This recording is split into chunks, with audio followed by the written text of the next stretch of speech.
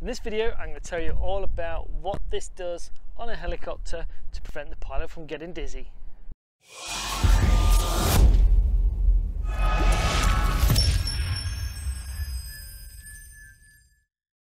Hi, I'm Rick James from the Pilot Teacher and today we're going to talk about tail rotors on a helicopter. What are they there for and how do I control them?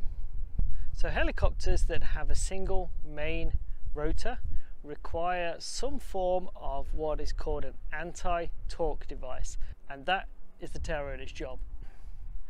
When the engine is turning the main rotor of a helicopter it creates torque. What happens is that as the main rotor goes this way the fuselage is wanting to go this way due to Newton's third law which states that for every action there is an equal and opposite reaction. So think of it like you, you know you're in a kayak or a canoe and you put the oar in the water and you pull it backwards. As you pull it backwards, you go forward. That is the equal and opposite reaction, and that's the same with the helicopter fuselage. So as the main rotor goes this way, the fuselage wants to go around this way. And to prevent that from happening, helicopters have a tail rotor. So a tail rotor produces thrust, and that's basically lift, but in a horizontal direction. So the designers create the helicopter so that when the helicopter lifts into a hover, the thrust being created by the tail rotor matches the torque being produced by the main rotor. So everything is in balance. So when the aircraft lifts up into a hover, it sits perfectly sitting forward, provided there's no wind. So when I want to turn the helicopter, if I was to turn to the right, for instance, what I'm going to do is I'm going to push on the right pedal and through a mechanical and hydraulic linkage it's going to come down to this linkage here which moves this slider up and down which then moves these pitch links which then adjusts the pitch of the tail rotor.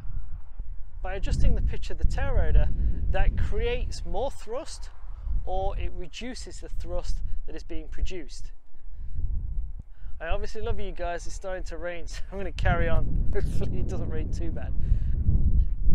So when I push right, uh, right pedal in the helicopter, I need to create more thrust because I'm going against the torque. So it increases the pitch of the tail rotor blades, creates more thrust pushing this way, which then forces the tail boom to the left and turns the nose of the aircraft around because the when you yaw the helicopter it is around the central mast, the main rotor mast. So that's like the pivot point. So the tail boom goes left, nose comes right. When I want to turn the helicopter to the left, what I'm going to do is push left pedal. Same linkage is going to reduce the pitch on the tail rotor blades. And then there's going to be less thrust compared to the torque being created. So the torque will actually pull the tail boom this way which then turns the nose to the left. So it's basically just a case of I either create a bit more thrust or a little less thrust than the main rotor's uh, torque that's being created.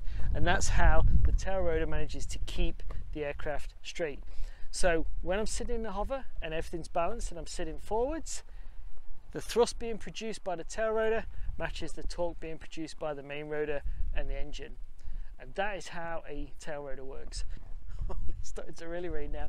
Um, some people have this misconception that um, I control the tail rotor by adjusting its speed, and that is incorrect. The tail rotor is mechanically linked through drive shaft and the transmission to the main rotor, and the main rotor turns at about 390 RPM.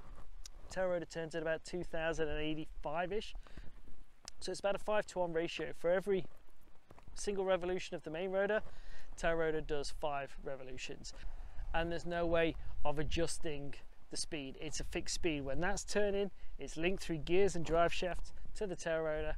Um, so as one's turning they're both turning.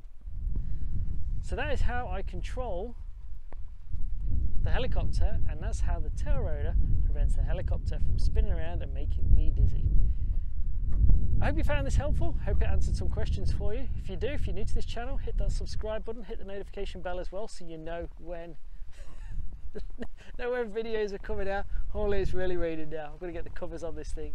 Um, yeah, if you liked it, give me a thumbs up. Really, really helps the channel. And uh, yeah, check out the other videos I've got coming up here. Uh, I hope you'll like them too. Man, I love you guys. Here I am doing videos in the, in the rain.